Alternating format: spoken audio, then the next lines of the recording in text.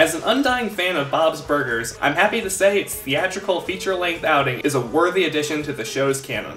I should probably give fair warning that this review does contain some spoilers. With that said, the Bob's Burgers movie follows the Belcher family fighting to literally keep their beloved restaurant above water while simultaneously solving a murder mystery in order to clear their landlord's name. When I first saw this film, I had only finished the first two seasons, so while I did have a good time, I can't say I was in love with it. There were a handful of callbacks that went over my head, and I didn't laugh quite as much as I was expecting. However, after finally completing every episode, I revisited the movie a few more times, and I gotta say, this is one of those films that only improves with every viewing.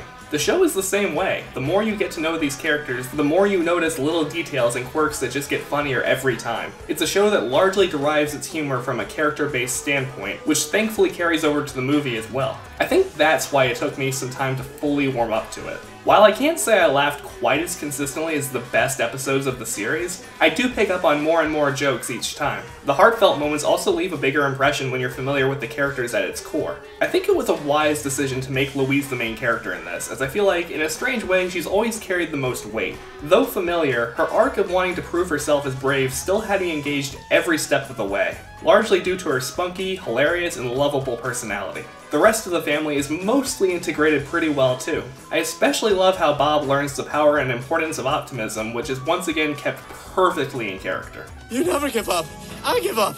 And then you say, don't give up. And I say, okay. And then we do that over and over. And now I'm saying it out loud, that can't be fun for you. I would have preferred it if Tina and Gene were given more developed material to chew on throughout, as they sometimes felt a tad sidelined. However, their personalities still feel on point, and they do manage to garner enough laughs to make up for their lack of substantial screen time. The animation is given a major upgrade and looks stunning, translating the world of the show to the big screen with an appropriately larger budget. The story itself may not take many risks in making the narrative feel especially cinematic, however, for a show like Bob's Burgers, I actually think that's okay. The Bob's Burgers movie is a delightful big screen debut filled with all the charm, heart, and endearing comedy the show is known for, while raising the stakes just enough to set itself apart.